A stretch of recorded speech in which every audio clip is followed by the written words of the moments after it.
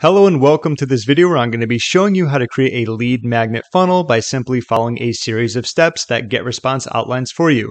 If you'd like to follow along with me, I will put a link in the description. If you click that, you can actually get a free account for GetResponse for testing out a lot of their features. Let's begin. So once you're actually in your account, you want to click on the tools section. And then if you go down a little bit, there's going to be conversion funnels. It'll say like, do you want to create a new one if you haven't created any yet? And then you're going to get taken to a page that looks very similar to this.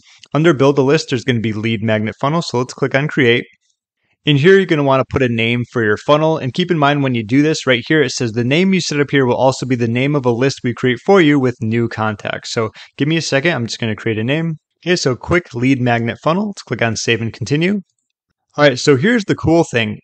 GetResponse actually comes with a few lead magnets, which is going to be very helpful, especially if you're kind of in like the marketing uh, niche or business, I guess you could say. So if you scroll down here, there's going to be a few, whether they're just kind of like pictures where it shows you how to build a funnel, or some of these are more so going to be ebooks, 10 steps to understanding content marketing. That one looks good. Is your email list dirty? Uh, how to use digital ads to grow your sales for mostly a lot of online business stuff. However, I understand, and I'm sure GetResponse understands that not everyone using GetResponse is going to be in the kind of online marketing field. So you can actually add your own lead magnet here.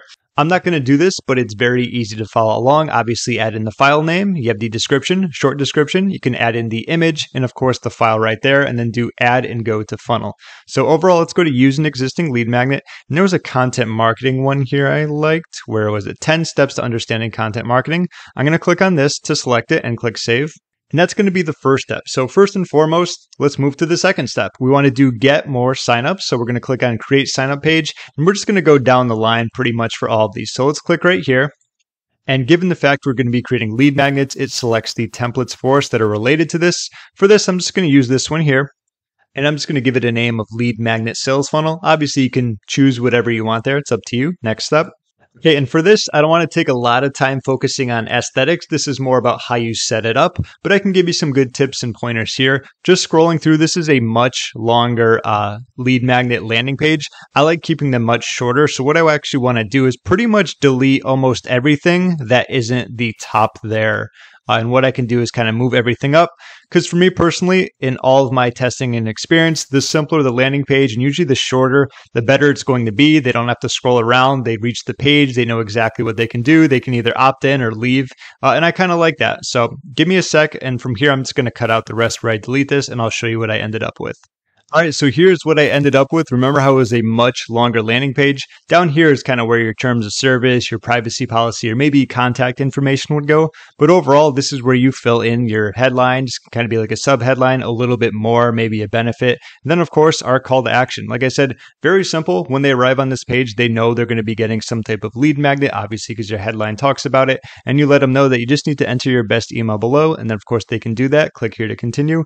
What I want to do is just save this real quick. And we're also going to have our thank you page. So you can go right here, click on that. So can just delete some of this. I'm going to move this up. Once again, uh, the aesthetics part is going to be up to you. So I'm going to keep a lot of this here. And as it says, let your new contact know they'll be receiving an email with a download link. Also, it says you could also ask for the new subscriber to follow you on social media or view other offers on your website, which is a great idea. The thank you page is uh, phenomenal quote unquote real estate where there's a lot of options that you can utilize here. Maybe you want to go to a webinar, maybe you have some other type of free video, you want to get them to a Facebook group, subscribe to a YouTube channel, uh, maybe a webinar. I'm not sure if I said that, maybe an affiliate link or a different offer or a coupon or a discount, whatever it's going to be. So while they're waiting that minute, 30 seconds, sometimes 10 seconds, whatever it is, you give them something to do there. But either way, let's just click on save. Once again, that's going to be up to you what you put there. I'm just showing you how to set it up. Let's click on next step. Okay, so we have lead magnet sales funnel. If you want to add in the description, that's fine. It's going to have the URL there. If you want to add in your own, that's going to be cool too. Default thank you page, which is what we showed there. And that looks pretty good to me. If you wanted to add anything else, that's kind of the minor details like analytics and remarketing is where your Facebook pixel is going to go. I have a separate video about that. So if you need any help with that, um, let me know. Leave a comment down below and I will link you to that. Let's click on publish. All right, cool. So next we're going down the line. Now we have a download page. So this is going to be different from a thank you page. What happens is once they opt in, they're going to get an email in the background, which is specifically for accessing their download link. So let's click on create a download page. And I'm just going to go with this one because it's the same type of template, same synergy, same color. But thank you page, next step.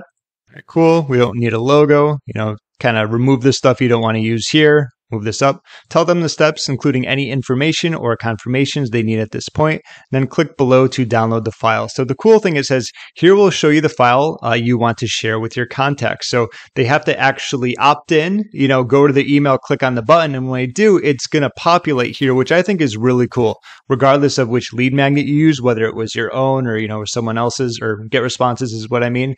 Either way, you can change that around how you want. Let's just click on save. Click on next step.